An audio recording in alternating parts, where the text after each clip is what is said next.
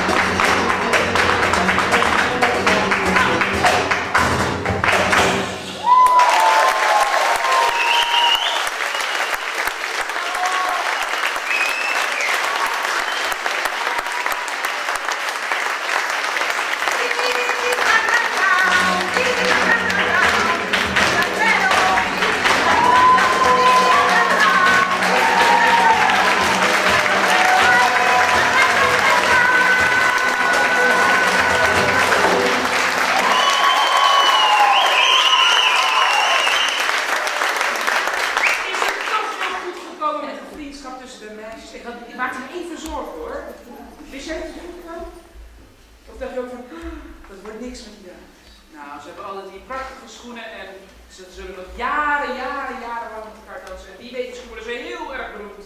Jongens, meisjes, dit was het verhaal wat wij jullie wilden vertellen. Dank jullie wel.